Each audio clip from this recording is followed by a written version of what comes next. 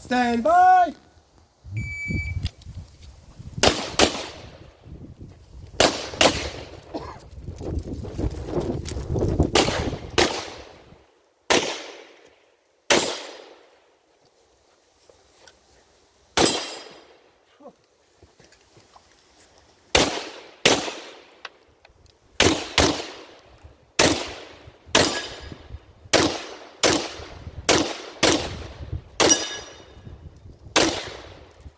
Też myślałem, że i tak zabraknie.